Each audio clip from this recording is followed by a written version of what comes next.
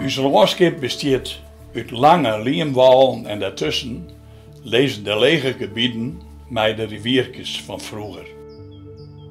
Aan de ene kant zit je tussen de bemmen en aan de andere kant zit je in het gebied. Dat lege gebied, dat hadden boeren veromjoen aan de natuur. Vol met allerlei vogels, bloemen en ik reptielen. Ik ben Jan Kloosterman. Ik wij in Boetenpost in de noordelijke Friese Waarden. Het is een nationaal landschap en ik ben heel verknacht aan het gebied.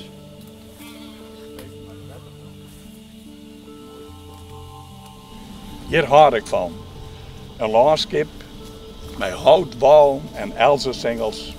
Een prachtig mooi gebied, vol van natuur, dat ontstaan is in de Sale East meer dan 130.000 jaar lien.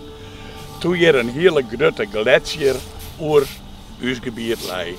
En toen dat besmalt, bleef dit oer heuge regen afwisselt met dalen dat in riviertjes ontstaan.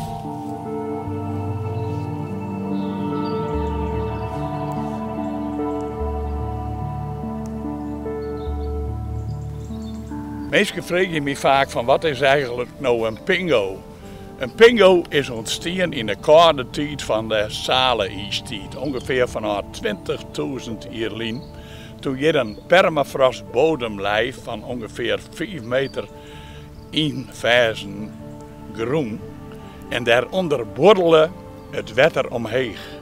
Wat je nou uit aan wetter, dat mag je voorstellen kennen in die Sale tijd dat je een berg ijslei van 20, 30 meter hichte, dat net er al je smalt en een grote koele in het landschap oerliet, waar we nou naar zitten te zien. De Pingelruïne, de Boortsmapoel in Twizel.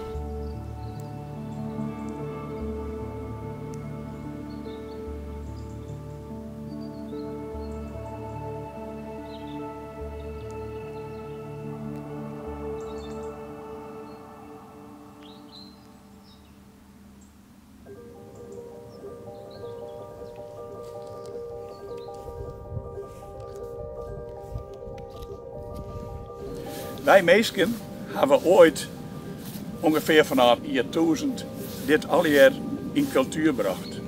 Vanuit de rivieren, in dit geval de Zwadde, hebben we begonnen om smalle strepen laan aan te lezen. En de rommel die er aankwam, die gooien we aan de kant. Daar maken we dieken van en op die dieken planten we hout. En we planten er stroeken op. En al die stroeken die weer om het vee binnen de perken te houden. Dit is nou een van de weinige stukjes laan die er hoe binnen en die het onjouwen op welke wijze wij ooit dit laan van natuur in cultuur bracht hebben. Zo is het natuur- en cultuurlandschap van ons ontstaan.